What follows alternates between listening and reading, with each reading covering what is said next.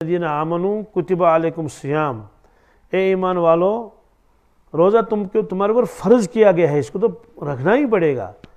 कमा कुतिबा आलदीन मिन कबलकुम, जैसे उन लोगों पर फ़र्ज़ किया गया था जो तुमसे पहले दुनिया में आए, पिछली उम्मतें। लाकुम तत्तकून, ताकि तुम परहेजगार बन जाओ, मुत्तकी बन जाओ। इससे मालूम हुआ कि रोज़े का एक असर यह है, आदमी मुत्तकी परहेजगार बन जाता है। किताबों में लिखा है शैतान जितना रोज़े से डरता है इंसान के, इतना और किसी से नहीं। क्यों? इसलिए कि ये शहवतों को तोड़ देता है। इंसान की, इंसान के जज्बात को काबू में रखता है रोज़ा। तो जब बदन ही कमज़ोर हो गया, जज्बात ही कमज़ोर हो गए तो शैतान को फिर जो है वो मौका नहीं मिलता है। दोबारा तो ख्वाहिशात नफसानी जो है वो दब जाती हैं इससे। इसीलिए फरमाया कि रोज़ा गुनाहों और मुनकरात से बचने के लिए एक ढाल है शील्ड तो शैतान जो है इससे दूर रहता है। रोज़े से रूहानियत में इजाफा होता है, दिल साफ़ होता है और अल्लाह तबर ताली का कुर्ब नसीब होता है। मारिफुल कुरान में लिखा है कि इंसान के बदन में फरिश्तों की कोई चीज़ नहीं है। क्या?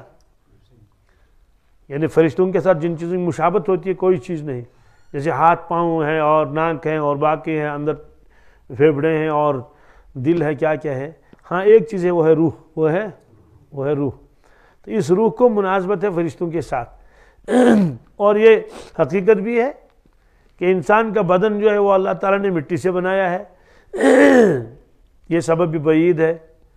और नुतफ़े से बनाया, ये सबब करीब है। नुतफ़ा बनता है खून से और खून बनता है। गज़ा से, और गज़ा निकलती है कहाँ से? ज़मीन से। तो ये सबब बईद कहलाता है, और नुतफ़ा सबब करीब है।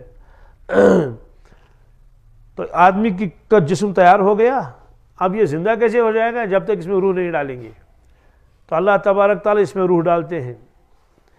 तो इसको किराम ने फरमाया कि एक है आलमी खलक, एक है आलमी अमर।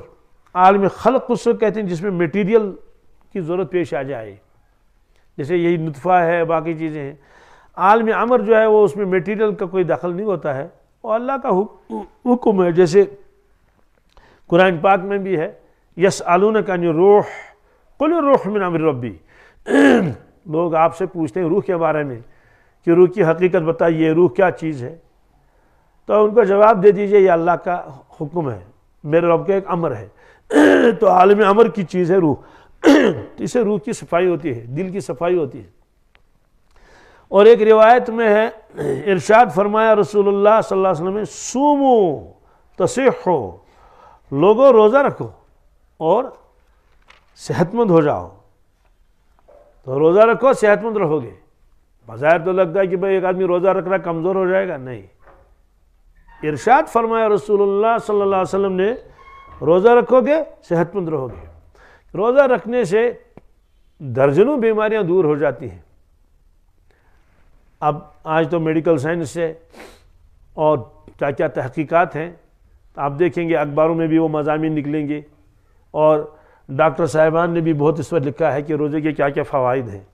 अगर उन फ़वाद को नज़र रखें, नज़रों में रखेंगे, अगर कोई आदमी सिर्फ़ जिस्मानी ही नफ़ा का तालिब हो तो तब भी वो कहेगा, नहीं, रोज़ा तो रखना ही पड़ेगा। क्यों? कमज़ोर नहीं हो जाएगा वो।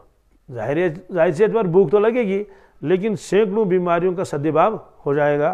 पर हमें वो नहीं देखना है कि भाई, सेहत के कितनी हो जाएगी, क्या हो जाएगी। हमें अल्लाह का हुक्म है ये, और रोज़ा रखना चाहिए।